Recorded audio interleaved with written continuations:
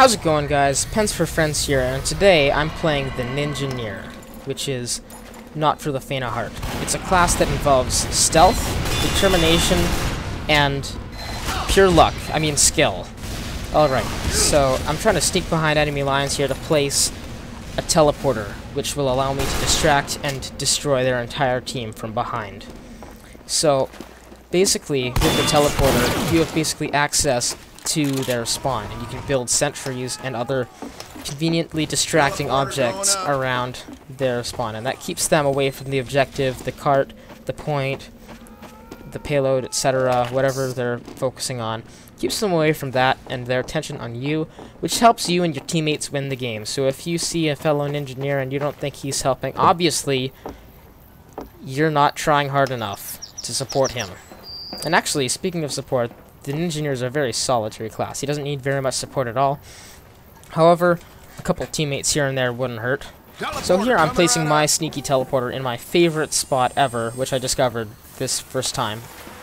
And I'm building a dispenser along with it, which I later destroy for my own reasons. Because it's, actually, it's quite obvious to people up here that I have a dispenser and a teleporter. So I do destroy it later, but that's no big deal. So yeah, just whack my dispenser here. Going up. Alright. Now, so once you've gotten behind enemy spawn, like I have, you just want to annoy the heck out of them. So here, I'm going to go build a sentry right out of their spawn gate. It's not a great spot if you want to keep the sentry alive, but it's a great spot if you want to just tick them off, because they will not be very happy. Like this spy. He disguises as a soldier and I just whack him, and I call spy as well. And this soldier didn't really know what was happening either, so I just got him for it. So I think of going back up there, but then I decided not to. Since that might just like give away my teleporter. So this scout has his hype up on his soda popper. They're chasing me. Their entire team is after me right now. I kill that pyro with crits. Thank you, David. And so they're like basically half, almost half their team's chasing me. I drop a sentry and it glitches out for some reason. My computer's weird like that. Yeah, the pyro does get me, and I die. But when you're an engineer, dying is not the end of the story because you have a teleporter. And with the Eureka effect, my personal wrench of choice for engineering, you can go right back there and go back at him, bring your sentry gun with you. And just, just to make sure I'm helping the team here, I do take a couple shots at that pyro. That doesn't really go very well, but it doesn't really matter because I'm about to teleport right back there anyways. And that is basically an engineering with Eureka effect in a nutshell. So I see they got some guys coming out of spawn. Soldier's trying to activate the teleporter with his shovel, so I just go in there and help him out a little bit. Then I remember we're on the same, we're on the we're on different teams, and then we can't actually help each other like that.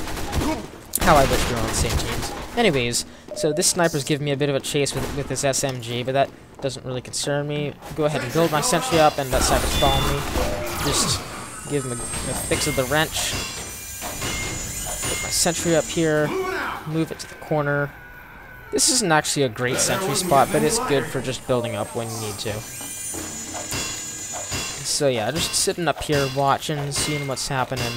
Not a lot of traffic couple of oblivious snipers, but they just don't know I'm here yet, which is probably a good thing. Alright, so I move my sentry down here, which is probably a better spot for getting kills. Oh, that's going well. see some movement down there. It's a pretty clueless soldier. Doesn't know what's happening until I uh, get him out of there. Alright. So I'm just hitting my sentry here. Not a lot going on.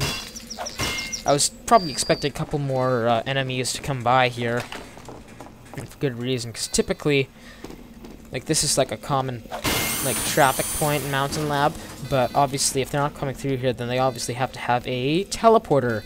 And that's another thing you need to do as an engineer. You need to make sure that their teleporters do not stay up. Because if your teleporter is close to their spawn like mine, you have control of that, and you can keep their teleporters down, which is great.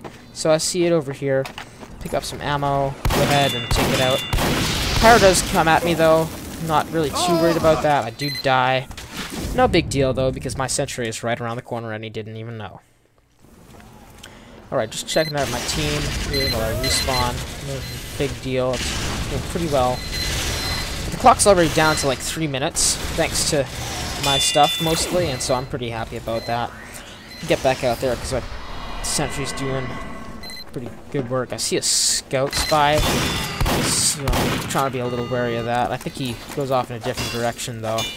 This pyro here is trying to edge my sentry or something. I don't really know what he's doing. He air blasts me, maybe by accident. And so, I don't know, but I do take him out. See another spy, so I'm getting kind of paranoid right now of all the spies that might be around here. See, I'm just looking around here. I, I probably I was probably a little more paranoid when I recorded this than I am now, just looking back at it, but it's not this. really a big deal, and I'll just move it up. There's the gonna top here. soldier. And th as I said earlier, this isn't a great sentry spot, but it's better than nothing, and if you you feel your sentry is being too vulnerable, then better keep it than be sorry. And I accident accidentally fall here, and that was a bit of a mistake, but not a huge one, because, yeah, the spies take out my sentry here, but I did manage to get one. But that's not really a huge concern for me because our team is doing well and we're down to almost 90 seconds, which is great. And mm-hmm. So my teleporter's still up for this entire round, which is awesome. I honestly didn't expect it to last this long. I mean, yeah, it's hard to see, but I mean, the loud engineer shouts when he makes his teleporter and the loud noise. I, I honestly thought that someone would have noticed it by now, but fortunately, I've been blessed with better luck than that. See, I take a couple pistol shots at the teleporter, then I get off the roof because I know that any enemies might follow me up there and find the teleporter as well. So I go ahead here and I try and build this sentry. This is also a better spot for it. Engineer sees it, but then the medic takes out the Saw. So I just give him the old one too. I also take out a Frontier Justice NG, which is nice as well. Go ahead and build my sentry up a little bit, waiting on some health here. I grab it. So yeah, right now I'm sitting at around two kills with my Eureka effect in this little spot here. Pyro comes around the corner, catches my sentry off guard on the upgrade animation, and he gets shot by a spy on my team. So I'm just waiting here for some health. Distract that sniper with a sentry. Distract this engineer with another sentry, and he's out in the corner. And we, me and the spy take him out. So then I move it into this little spot here. Down to like 15 seconds. We basically already won the game. That pyro does take it out again. But our spy gets him, and I try and build up the sentry. and get behind this soldier, and uh, he, uh, it's a spy, but we've already won, and I don't even care that I got blasted by that soldier there, because we won the game, and Ninjaneering saved the day. And, well, folks, thanks for watching, and I hope you enjoyed this video. Please remember to like, comment, and subscribe, and check out the rest of the other videos in my